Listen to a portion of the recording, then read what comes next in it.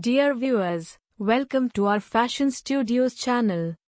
In today's video we are going to present here different types of most beautiful spilled flower pot design ideas. Spilled flower pots are a whimsical and humorous trend in garden design. This is an easy concept to use in any backyard garden, and requires only a little thought and creativity.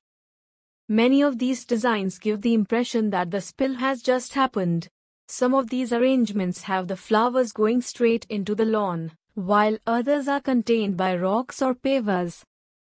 The arrangements where the flowers blend into the lawn or spill onto mulch seem more spontaneous than those that flow into a contained area. A few of these designs are highly ambitious, with built-in ramps helping the flowers cascade to the ground.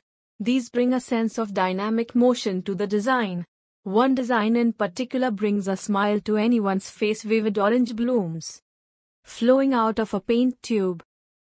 Bring variety to your garden by varying the type of planter. Taking a little time to turn your expectations on their heads will lead you to a fun, charming spilled planter design for your own backyard garden. Different types of most beautiful spilled flower pot designs are given in this video for your collection ideas. Please watch till the end of this video and subscribe our channel for more interesting contents. Thank you. Good day.